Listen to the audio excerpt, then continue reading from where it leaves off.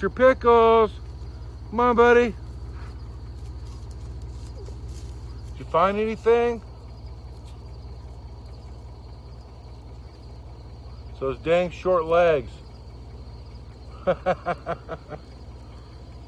boy. Atta boy.